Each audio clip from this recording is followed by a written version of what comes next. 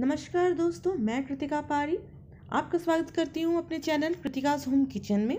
जैसे कि आप जान रहे हैं दोस्तों, ठंड का मौसम आ चुका है, यानी कि गर्मा गर्म चटपटी सूप पीने का मौसम आ चुका है। आज की इस वीडियो पे मैं चटपटे टमाटो सूप की रेसिपी आप सभी के लिए लेकर के आई हूँ।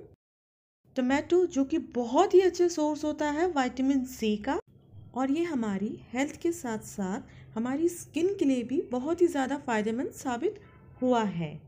इसलिए दोस्तों टमाटोज़ को आप अपने रेगुलर मील डाइट पर ज़रूर ऐड करें। खास तौर पर छोटे बच्चों को आप ज़रूर पिलाएँ, क्योंकि उनमें इम्यून सिस्टम को बूस्ट करने की बहुत ही ज़्यादा ज़रूरत होती है। आइए फिर देखते हैं हम चटपटे टमाटो सूप की रेसिपी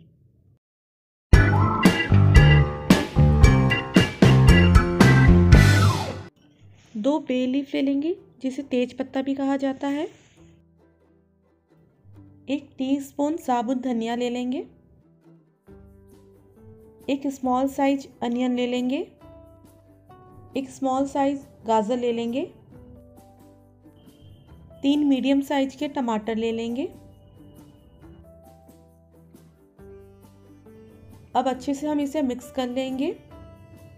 पूरी तरीके से मिक्स करने के बाद हमें सिर्फ़ इसे एक या दो मिनट ही इसे पकाना है, ताकि इसके अंदर का जो कच्चापन है वो निकल जाए। नमक आप अपने स्वाद अनुसार डालेंगे। हाफ़ टी स्पून धनिया पाउडर हम डालेंगे। दो सूखी लाल मिर्च हम डालेंगे।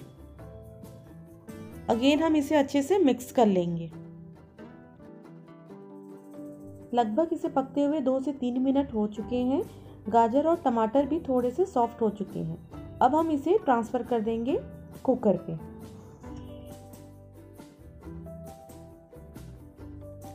अब मैंने अच्छी तरह से ट्रांसफ़र कर दिया है कुकर में।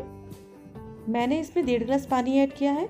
अगर पानी की रिक्वायरमेंट और ज़्यादा लगती है आपको तो आप थोड़ी पानी और ऐड कर सकते हैं। मैं फ्रेश धनिया इसमें ऐड कर रही हूँ। वैसे पुदीना के पत्ते का टेस्ट भी इसमें बहुत ही ज़्यादा अच्छा आता है। जिन्हें पुदीना पसंद है, वो डेफिनेटली इसमें ऐड करें।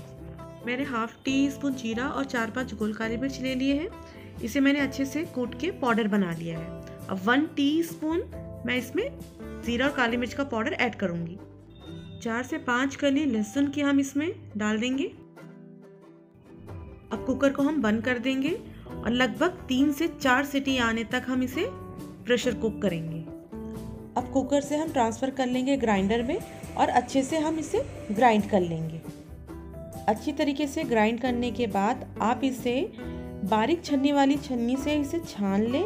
देन आप इसे फ्राई पैन में दो से तीन मिनट और आप इसे पकाएँ। ये अभी लिक्विड फॉर्म पे है। जब तक ये झाग जो उसके ऊपर है, ये जब डिसअपेयर हो जाएगा, तब आप समझिए कि आपका जो सूप है, वो पूरी तरीके से रेडी है।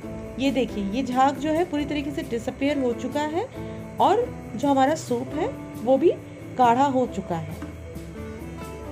आप अपने अनुसार सूप की कंसिस्टेंसी को पतला या मोटा रख सकते हैं। मुझे सूप की मीडियम कंसिस्टेंसी पसंद है, ना ही ज़्यादा गाढ़ा और ना ही ज़्यादा पतला। अब सूप जो है वो मीडियम कंसिस्टेंसी में आ चुका है तो अब ये सूप जो है वो रेडी है। आशा करती हूँ दोस्तों आपको मेरी ये वीडियो पसंद आई।